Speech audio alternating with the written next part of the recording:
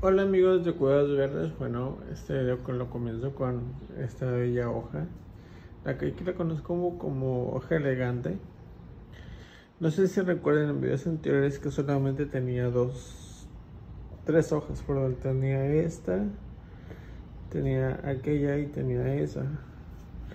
Y pues al poco tiempo me dio esta hoja.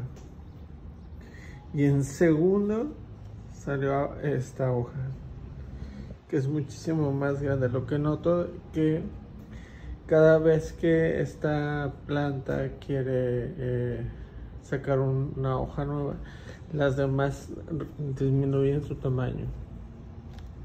Yo creo que esta es la hoja más antigua y por eso está haciéndose como eh, o perdiendo nutrientes para yo creo que nutrir a la más grande, pero real está gigante.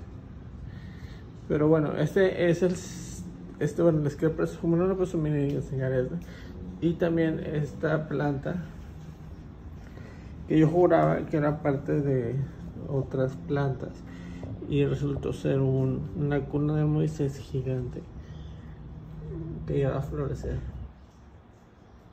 Que va. Pero bueno, pero como el título del, del, del, del video es eh, el seguimiento de la difamaquia les voy a también les voy a hacer un pequeño tour pequeñito de mis de mis plantitas que tengo aquí y que próximamente les voy a enseñar más videos sobre ellas ¿se acuerdan de la difambaquia? bueno la difambaquia o difambaquia no sé su nombre realmente este es una planta que si no llega a ser suculenta, sí pertenece a las plantas que en su tronco puede acumular bastante cantidad de agua.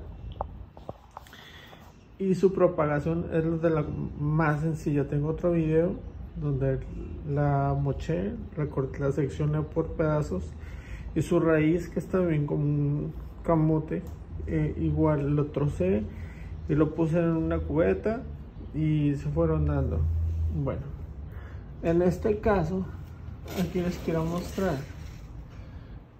que en esta maceta, que, es más grande, puse todos los hijuelos de esta planta. Hijuelos, los voy a llamar así, pero son simplemente eh, lo que resultó de los trozos la de aquella vez, de la última propagación que hice. Entonces, como se pueden dar cuenta, ahí están todos sus, todos sus hijillos que poco a poco van a ir creciendo y van a ir tomando. Es la diferencia que esta que tengo, la tengo sostenida con un paro de escoba, porque así su peso es bastante eh, considerable, pero pues no la quiero cortar, quiero que siga creciendo. Obviamente en este trasplante su eh, su raíz se ve comprometida y, quedó muy pequeña. Es por eso que también ayudé con este palito y, este, y esto para que se mantuviera erguida. Eh, se veía triste, la verdad, muy decaída. Le tuve que quitar dos hojas de las que tenía muy hermosas porque las tenía como las sacrificó. Yo creo que para, para, para agarrar energía y poder sobrevivir, pues se dan cuenta aquí ya viene de nuevo. La planta está está viva está creciendo y va a volver a ser la planta que siempre ha sido. Una planta guerrera una planta hermosa una planta que, que dejó atrás un legado como es tan bello como se pueden dar cuenta su cuidado es de la cosa más sencilla, no la pongan en el sol directo, porque eso es lo que sucede con el sol.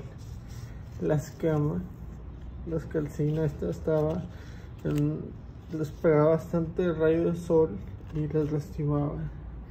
Les encanta la sombra, semisombra y uno que otro rayo de sol de la mañana, podría ser Aquí en esa parte de la casa entra el sol de la mañana y si se dan cuenta parte del sol de la tarde si lo pega. pero no lo suficiente para rostizarla. Quedarlo mucho una hora, pegar el sol y pues nada. El sustrato obviamente tiene que drenar bastante bien. Aquí tengo, tengo una tengo una playita que no la quiero eh, acabar con ella porque es, temporal, es de temporada, son unos bichitos que se convierten en unas mariposas gigantes negras que me, no me dan miedo, a mucha gente le da miedo, pero a mí no me da miedo.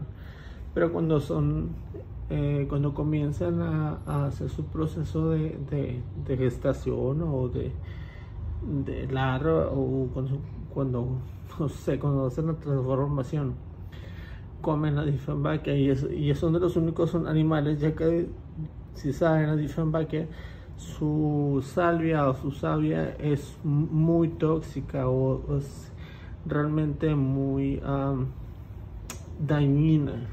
Entonces estos, son de los pocos animalitos que se la comen fácilmente. Entonces, digo, que las aproveche tantito y después que salgan volando, no pasa nada. Aquí la naturaleza fue, está hecha para lo mismo que para nosotros, para dar alimento y para protegernos. Así que en este caso los dejo ser un, porque hace que es momentáneo, no, van a atacar toda la planta. Así que, pues bueno, espero les haya gustado cómo va el, cómo va el seguimiento de la difembaquia. Y ya saben que cualquier duda o comentario, estoy abierto, les puedo les respondo, ya sea por redes sociales, por Instagram o Facebook. Y pues nada chicos, muchas gracias por seguirme y seguir ayudándome. Y gracias a tengo muchos comentarios muy positivos y también mucha ayuda para que mi jardín luzca de esta manera tan, tan bella. Y gracias a todo, todo, todos, gracias a ustedes de que conocen más plantas o de otras regiones y que las cuidan mejor que yo. Entonces, este, pasan sus consejos y es así como tenemos este bello, bello jardín. Bueno, sin más por el momento me despido chicos, les mando un fuerte abrazo, un fuerte beso y nada, nos vemos hasta el siguiente video. Bye.